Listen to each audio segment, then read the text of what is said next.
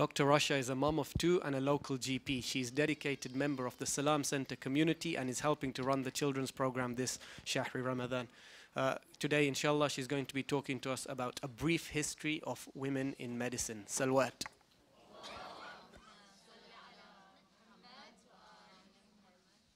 Assalamu alaikum wa rahmatullahi wa barakatuh.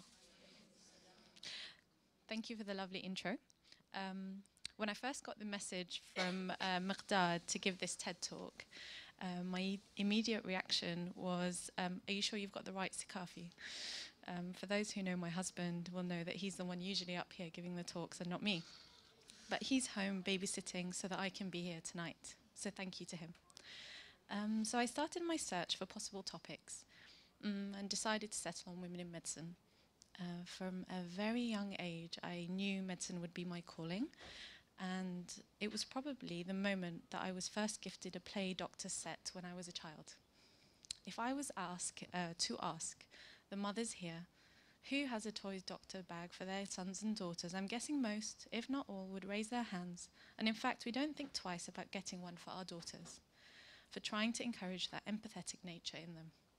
So my message today starts with us all time travelling back, approximately 200 years in the UK, to a time where little boys were encouraged to study and go to university and choose whatever career that they liked.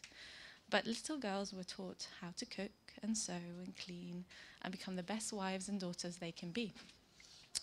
But in one house in Ireland, a little girl called Margaret Ann Buckley dreamed a big dream. She wanted to be a doctor at a time when the thought of a woman going into medical school was ridiculous.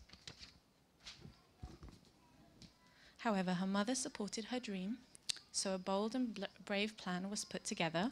Margaret and her mother enlisted help from a liberal minded doctor, and they privately tutored her for an entrance exam uh, to medical school. At the age of 17, when the time for application came, uh, she moved from Ireland to Edinburgh. And at that time, she stopped being known as Margaret and became James Barry. From that moment on, and for the next 56 years of her life, James Barry would live and work as a man, becoming a formidable surgeon. She was the first Irish surgeon to perform a caesarean section in Africa, where both mother and child survived. She never married, dedicated her life to medicine, and her true gender was only found after her death. A decade later, after successful petitioning of the government, an act was passed in 1876 permitting women to enter that medical profession in the UK.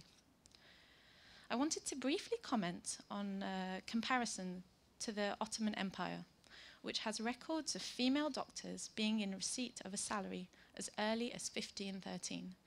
That's 350 years before the UK allowed women to become doctors.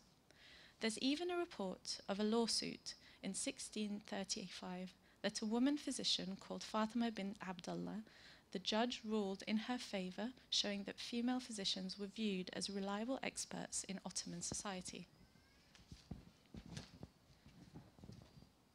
Fast forward to present day. Wow, in retrospect, we have it really easy. We can do whatever career we choose. Often the only limitation is set in our own minds. I can't do this as I'm not clever enough. I'm not strong enough. I'm not able to do it with hijab. Yet, the point of history is to learn from the lessons of others. So let us encourage our daughters and sons to become the best versions of themselves that they can be. The sky is the limit.